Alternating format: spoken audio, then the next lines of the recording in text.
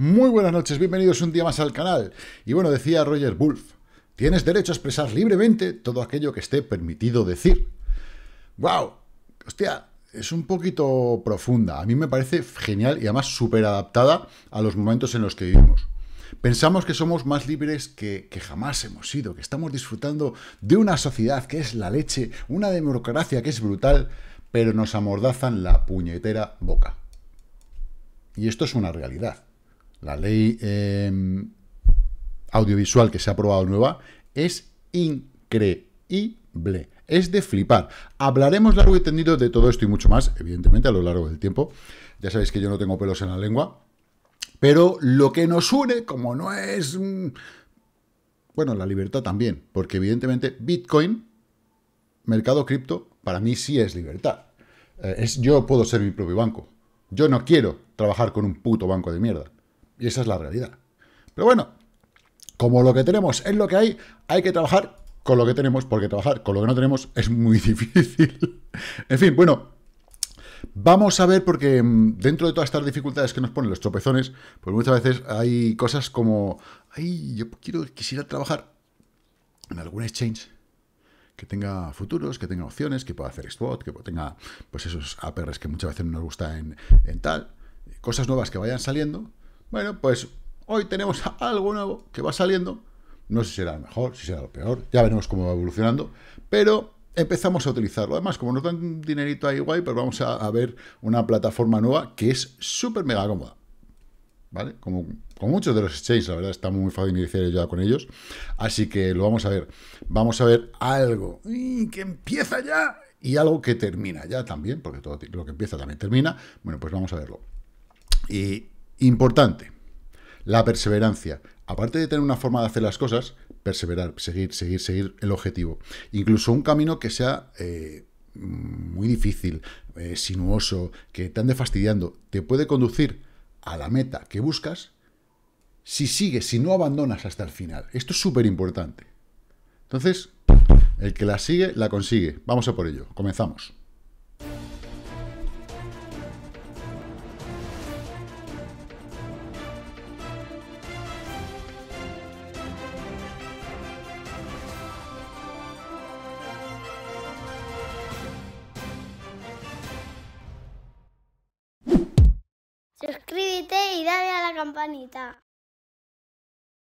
Pues eso, suscríbete y dale a la campanita. Bueno, cosas que terminan, cosas que se acaban, cosas que finalizan. Ha estado las ofertas del canal VIP, de clases particulares, de los cursos de trading, eh, todos los indicadores están en oferta. Queda solamente, esta va a ser la última semana, no los iba a mantener tanto tiempo, ya lo sabéis. Pero claro, ¿qué pasa? Luego me dice el mi nieta, la pequeñita, tío, abuelo, es que mi cumpleaños es el día 10 y cuando hiciste el cumpleaños de Jimena en diciembre hiciste una oferta y no lo haces con mi cumple. Digo, joder, macho. Digo, venga, vale. Pues hasta el día 10, o sea que tenemos 31 hasta el 10 de agosto, que es su cumple, vamos a mantener los precios en oferta. Y se acabó, ¿vale? Se acabó, o sea, ya, ya, ya, lo siento, pero no hay más. Bien, dicho esto, cosas que comienzan. Bueno, pues los de Houdini han hecho una fase especial, una fase extraordinaria. Eh, quitaron la fase 3, ¿por qué? Porque no la han querido limitar. Es decir, han decidido que la gente que entra en la fase 1 y la fase 2, si compran algún toque es algún token extra, les van a respetar, ¿vale? Las condiciones en las que compraron en la fase 1.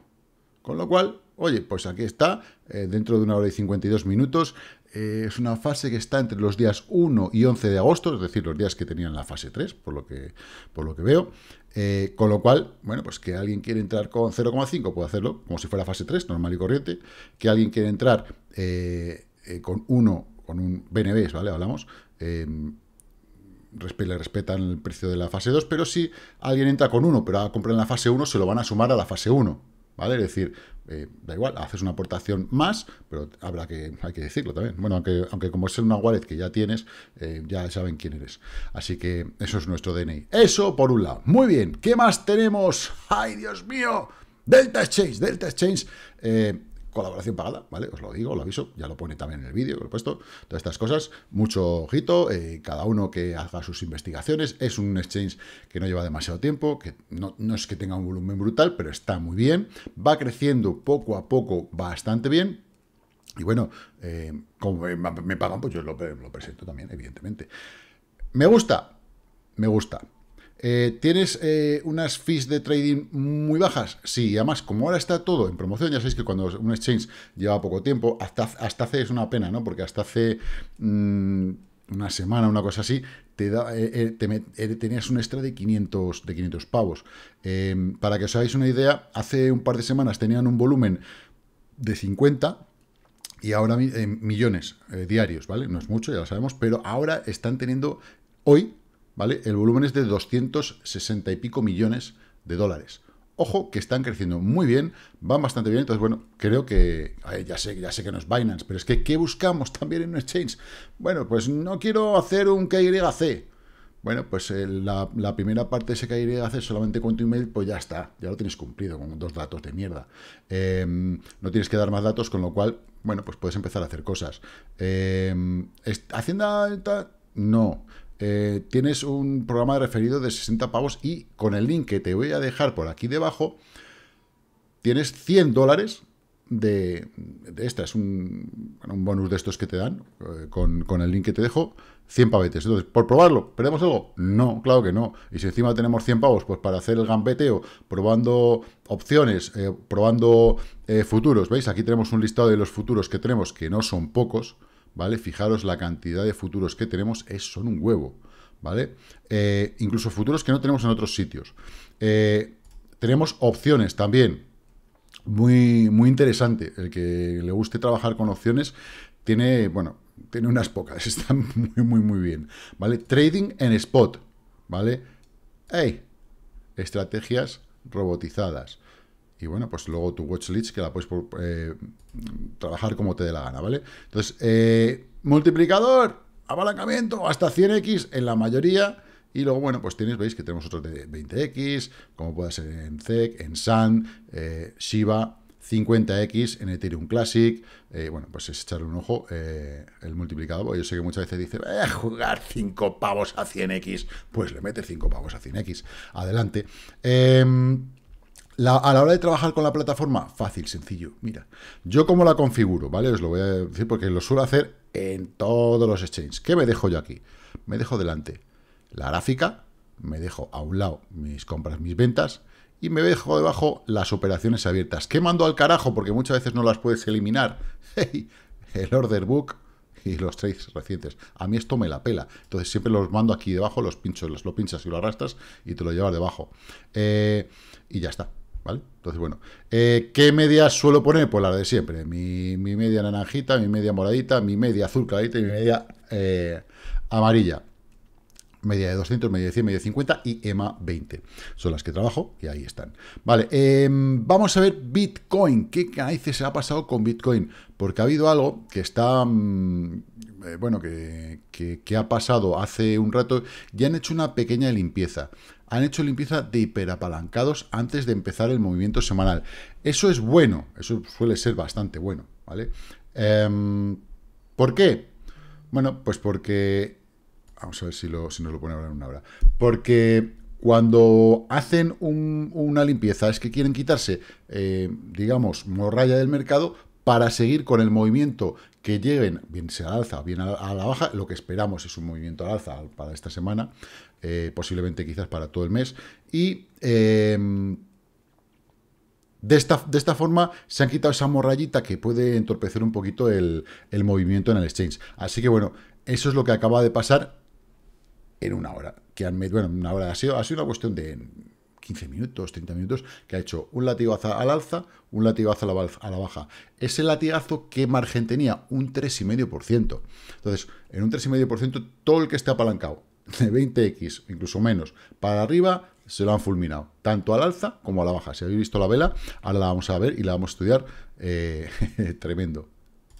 Entonces, objetivo, objetivo importante para el día de hoy. ¿Por qué? Porque hoy cerramos semana y cerramos mes. ¿Y cuál es el objetivo importante? Cerrar por estima de estos máximos que tenemos aquí. Evidentemente que al cierre ya los hemos superado, pero a ver si cerramos la semana mejor. Pero mmm, cerrar por encima de 24.250, el cierre de la vela diaria, ¿vale? Mm, estaría bien. ¿Por qué? Porque estos dos martillos, esta doji y este martillo invertido, no suelen ser velas buenas, son velas de rechazo, ¿vale? Igual que lo fue esta, igual que lo fue esta, igual que esta invertida también es una vela de rechazo. Pero bueno, como fue viernes, hubo lo que hubo el, viernes, una, pequeña locura, y el sábado, pues tenemos poco volumen, tampoco nos podemos fiar, hay un intento de alcance, bueno, pues tampoco podemos irnos y volvernos locos. ¿Qué pasa también en una hora? Bueno, la vela que hablábamos, ¿veis? Esta vela que ha barrido al alza y ha barrido a toda la gente que estaba en cortos, se ha venido a la baja y ha barrido a toda la gente que estaba en largos en esos eh, multiplicadores de apalancamiento, ¿vale? Altos. Entonces, bueno, a partir de aquí, un poquito de crecimiento. ¿Y qué estamos haciendo en la zona de los 23.839? Pues esperar a la apertura de los futuros del CME, que son los que mandan. Evidentemente, pues a partir de ahí, bueno, pues ya podremos ir tomando decisiones a partir de las 11, 11 y 10 que nos empiezan a llegar los datos y ya podremos ver eh, alguna cosita que, bueno, pueda ser eh, interesante. En cuanto a altcoins, bueno, creo que Cardano está en una buena situación si conseguimos salir, a ver si lo tengo por aquí, ¿dónde tengo yo por aquí Cardano? Vamos a ver, lo tenía eh, aquí, a ver si me, que me lo cargue.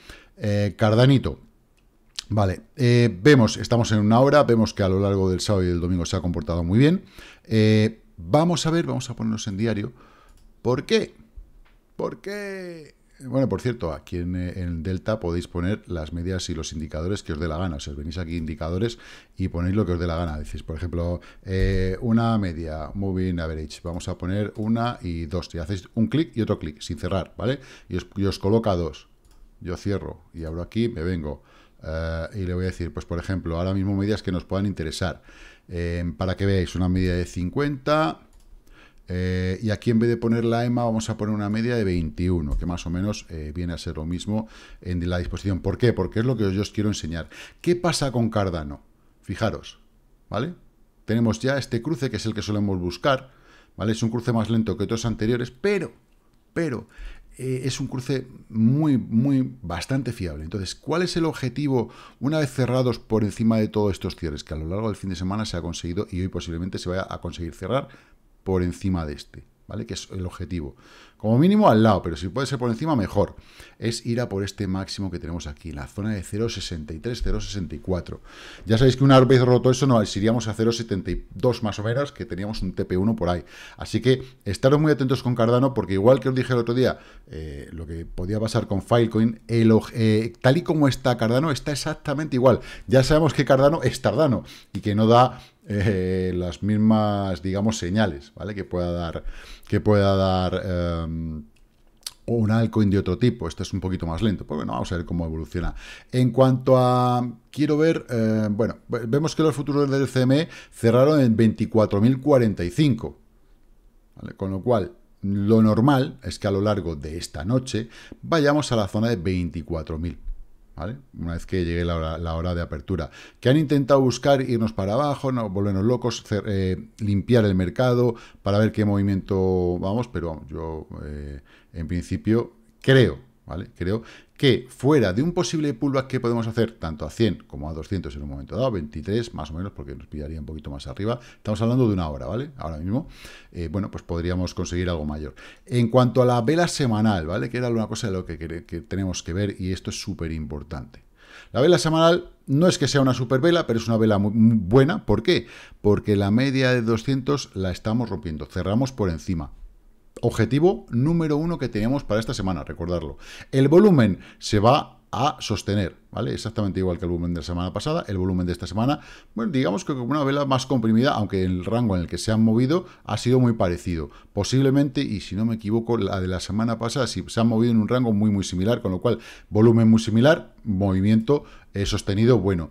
En la vela mensual, que la cerramos hoy también, que es una vela brutal, porque, ya lo dije el otro día, tenemos muy poquita mecha, es una vela Harami eh, cubriendo prácticamente un poquito más de un tercio de la vela del mes anterior y pasando la media de 50.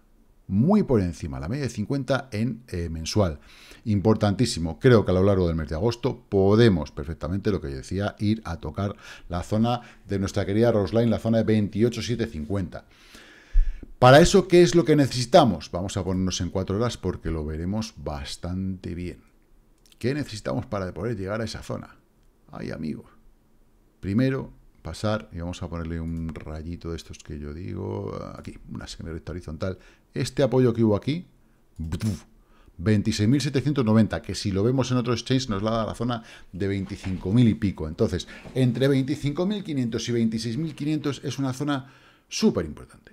Súper importante, aunque yo pienso de verdad que en el momento que pasemos los máximos relativos anteriores que tenemos en diario, ¿vale? Pues bueno, eh, conseguiremos eh, ir a alza. ¿Por qué? Porque si volvemos a tener más rechaces, igual que hemos tenido en esta vela y esta otra, y empezamos a ir para abajo, podemos hacer una M, una, un doble suelo, un, o un, un doble techo con una M que no queremos, no queremos, no la queremos. Ahora, si se produjese eso, sería la, bola humo, porque claro, meteríamos un pepinazo interesante. Ahora bien, si yo esta línea de tendencia que tengo aquí, ahora las 1, ¿vale? ¿Qué estoy haciendo aquí? Desde este punto estoy buscando una cuña, me estoy comprimiendo. Si nos viniéramos para abajo, podría no ser muy bonito. Lo ideal es romper esta zona al alza. Eh, por otra parte, en cuanto a los, al canal horizontal que teníamos, desde este punto, igual que veis que, que he hecho esta línea, si yo tiro la línea superior, veo que el canal lo que está haciendo es inclinarse hacia arriba y acelerarse. Eso es muy bueno. Pero para que esto se produzca, tenemos que terminar de romper la jodida línea de tendencia que tiene un toque aquí, otro toque aquí, otro toque aquí. Aquí no llegó a tocar y ahora sí, estamos intentando atacarla. Necesitamos un buen cierre de semana, un buen cierre hoy diario y mañana que el mercado realmente, eh, aunque ya sabemos que los lunes no solemos tener muy buen volumen, Em, pero es importante que mañana el mercado reaccione. Vamos a ver qué pasa en las dos últimas horas del día, desde las 0 eh, hora España, ¿vale? Desde las 12 de la noche hasta las 2 de la madrugada, que cierra la vela diaria. Eh, y bueno, a ver qué tal se comporta, porque va a ser un síntoma importante, ya que el volumen es una castañita, de la viernes, ya sabemos que sábado y domingo es una castañita, vamos a ver cómo se comporta a partir de ese momento, porque en principio el esquema y la formación que tienen no es mala. Pero, dicho esto, eh, necesitamos, igual que hemos inclinado aquí, toque, toque y dos toques abajo, hemos inclinado al alza ese, canal, tendríamos la opción de, si nos vamos abajo, o venirnos hasta la línea del canal antiguo, inferior, o si nos vamos arriba, ir a tocar el nuevo superior de este canal, para luego volver a caer haciendo el pullback a la línea de tendencia pasada y llegar incluso a tocar otra vez la parte inferior del canal nuevo.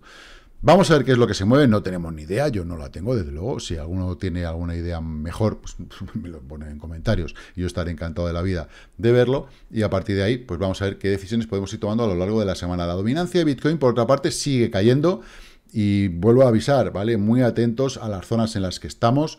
Eh, yo espero que podamos bajar a esta zona de mínimos y a partir de ahí pueda empezar a rebotar. Y las altcoins sufrirán, sufrirán mucho y sobre todo las altcoins contra el Bitcoin. Eh, recordarlo, el USDT por su parte, eh, bueno, estamos en el, en el, sí, el market cap del USDT, sigue pues un poquito flaqueando, pero está empezando a aguantar. ¿Veis las velas que ha hecho? Una vela del viernes de indecisión, una vela doji casi martillo, medio dedo y hay verde. El día de ayer yo está haciendo, intentando hacer un martillo. Mm, esto también nos puede dar un indicador de por dónde poner los tiros, pero bueno, como el fin de semana no nos fiamos mucho, vamos a ver qué, narices pasa a lo largo del lunes, ya sabemos que hay menos volumen, martes. Em, en cuanto al total market, ¿vale? Vemos que con Bitcoin ha entrado menos dinerito, sin Bitcoin ha entrado más dinerito. Eso quiere decir que el fin de semana las altcoins se han portado muy bien y se han portado realmente bien. Eh, bueno, Filecoin, ¿qué os voy a contar? Otro 30% hoy. Yo me salí con un 16 y fijaros el pepinazo que llevó ayer, un 34, que estuvo como en un 40 y pico, y hoy otro 30 y pico por ciento. Se va por la media de 200 posiblemente. Pero bueno, esto es lo que tiene ahora lo normal es que aquí haga una banderita o incluso que vuelva a reposar en la media de 100, pero mm, está imparable, está tremendo.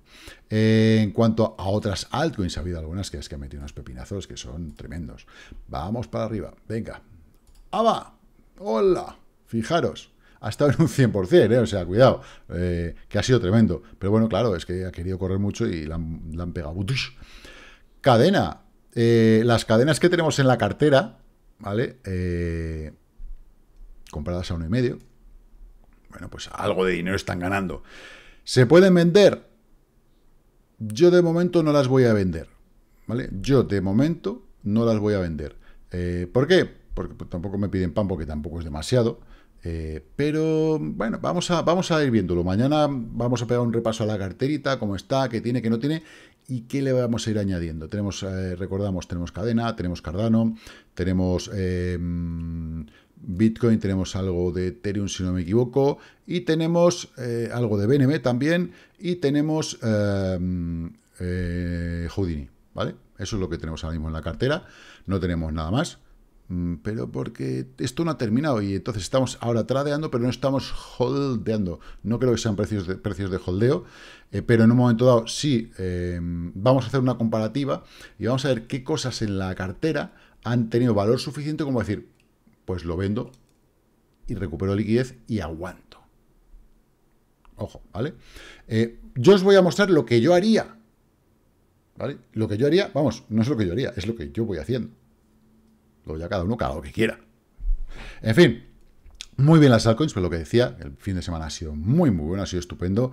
Eh, las DOT, las Neblio, eh, hasta ICP ha subido un 13%, increíble, muy, muy bien. Melo subiendo un 7 y pico, o sea que hay cosas bastante, bastante interesantes. No me voy a enrollar más porque creo que ya lo estamos viendo, lo estamos viviendo y simplemente nos interesa el movimiento, cómo inicia la semana Bitcoin. A partir de ahí podremos ver, eh, tomar decisiones y decidir qué hacer, qué no hacer, y bueno, pues en nuestra vida, si, si nos va a mejorar o nos va a mejorar con Bitcoin y nuestra libertad o nuestra no libertad. Me, mira, ¿veis la, vela que hizo aquí? Esta vela abrazando una a la otra y empezó a caer, luego rebotó, pues aquí está haciendo lo mismo. Una vela abraza a la otra, empezó a caer. Lo que es que está manteniendo un poquito más horizontal. ¿Por qué? Porque tenemos que romper esta puñetera línea de tendencia, que no conseguimos romperla en diario. Hicimos esa falsa salida y ruptura Ahora se está manteniendo ahí. A ver qué narices decide hacer hoy. Tenemos chicha para poder tirar al alza. Fijaros cómo el R6 se ha relajado. En una hora, tres cuartos de lo mismo. Está súper relajado aquí a la espera. En diario tenemos margen de sobra para poder seguir metiendo un pepinazo de sobra hasta la zona de los 28. Ahora, ¿dónde está el CME? En diario, 50%, zona limpia, para poder romper esta media de 100 que tiene aquí pendiente.